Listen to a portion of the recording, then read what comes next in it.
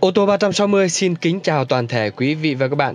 Rất vui được gặp lại quý vị và các bạn ở video clip ngày hôm nay ạ. Thưa với quý vị và các bạn, ngày hôm nay thì ô tô 360 chúng tôi lại vừa với mua về được một chiếc xe SUV gầm cao 7 chỗ ngồi đó chính là chiếc xe Kia Sorento quý vị bạn nhé. Chiếc xe được sản xuất năm 2012, đăng ký tên tư nhân biển Hà Nội và biển số thì rất là đẹp đấy ạ, biển à, Phát Lộc rất là đẹp ạ.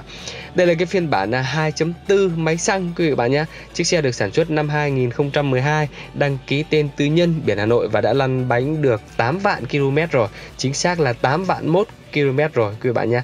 Với chiếc xe này thì đã được chủ xe độ lên rất là nhiều đồ rồi, quý bạn ạ. Từ ờ, màn hình Android cho đến camera 360 camera quanh xe, camera lùi, cảm biến lùi, đầy đủ hết cả rồi quý vị bạn nhé. Và thưa với quý vị và các bạn, với chiếc xe này thì chúng tôi vẫn cam kết với quý vị và các bạn.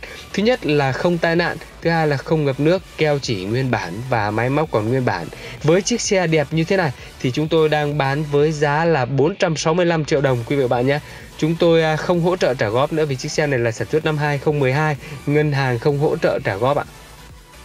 Vậy nếu như quý vị và các bạn nào mà đang quan tâm đến chiếc xe Kia Sorento máy xăng 2012 này thì hãy liên hệ ngay theo số hotline của ô tô 360 chúng tôi đang để ở phía dưới góc bên phải màn ảnh của quý vị và các bạn đang xem đấy ạ là 0905 608 883 để được chúng tôi tư vấn hoặc chúng tôi có thể mời quý vị và các bạn qua địa chỉ cửa hàng chúng tôi 16 phố Tố Hữu, phường Trung Văn, quận Nam Từ Liêm, thành phố Nội để được xem xe và lái thử trực tiếp chiếc xe Kia Sorento 2012 này ạ. Hiện nay tại cửa hàng chúng tôi đang có rất nhiều xe, ví dụ riêng chiếc xe Kia Sorento này thì chúng tôi đang có cả đời 2012 2014 2016 đầy đủ hết rồi quý vị bạn nhé toàn bộ là máy xăng 2.4 máy xăng ạ à.